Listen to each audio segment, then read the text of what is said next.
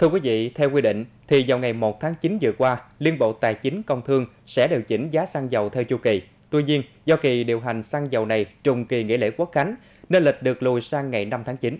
Thế nhưng những ngày qua tại nhiều địa phương trong cả nước, trong đó có tỉnh Bạc Liêu, đã xuất hiện nhiều đại lý xăng dầu tạm đóng cửa thông báo hết hàng hoặc bán theo kiểu nhỏ giọt. Tình trạng trên đã ảnh hưởng đến nhu cầu xăng dầu phục vụ cho sản xuất của nhân dân, nhất là nhu cầu tiêu thụ dầu phục vụ cho thu hoạch trà lúa hè thu của bà con nông dân trên địa bàn tỉnh.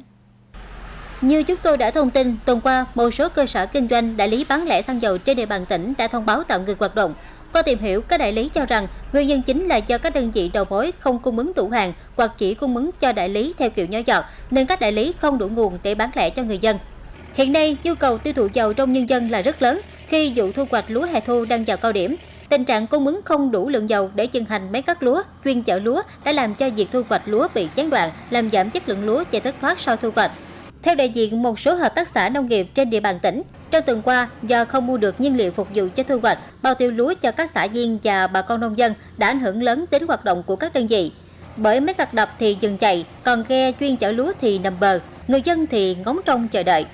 Lãnh đạo Bộ Công Thương cho biết nguồn xăng dầu cung ứng trong nước là không thiếu. Trong khi đó, các đại lý bán lẻ xăng dầu lại cho rằng các đầu mối không cung ứng đủ hàng, có dấu hiệu găm hàng chờ điều chỉnh giá mới nên cung ứng theo kiểu nhỏ giọt.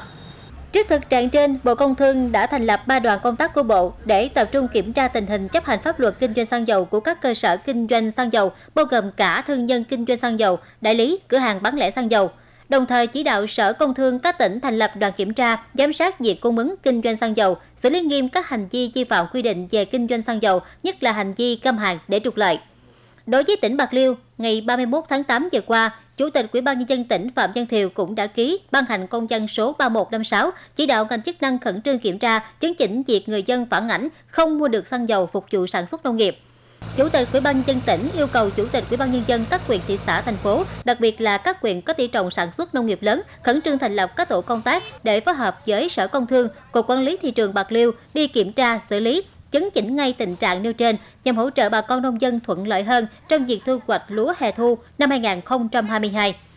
Thực hiện chỉ đạo của Bộ Công Thương và Ủy ban nhân dân tỉnh, trong tuần qua, đoàn kiểm tra liên ngành chống buôn lậu, gian lận thương mại và hàng giả 389 tỉnh đã đến kiểm tra tại một số đầu mối lớn chuyên cung ứng xăng dầu cho các đại lý, khách hàng bán lẻ xăng dầu trên địa bàn. Làm việc với đoàn kiểm tra, đại diện các đầu mối cho rằng thời gian qua, đơn vị này cung ứng kịp thời cho khách hàng lớn và khách hàng bán lẻ trên địa bàn tỉnh. Đối với khiếu nại của các đại lý cho rằng đầu mối không cung ứng đủ và kịp thời nguồn hàng dẫn đến gián đoạn bán lẻ của các đại lý.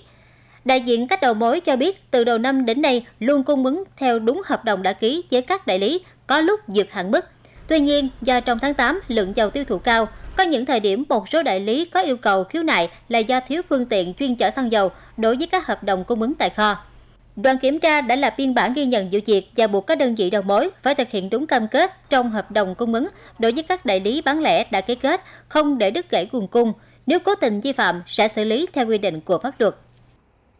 Mong rằng với sự vào cuộc kịp thời của ngành chức năng, tình trạng găm hàng chờ giá, tạo khan hiếm giả tạo, làm đứt gãy cục bộ nguồn cung, gây bất ổn thị trường xăng dầu sẽ sớm được chấm dứt.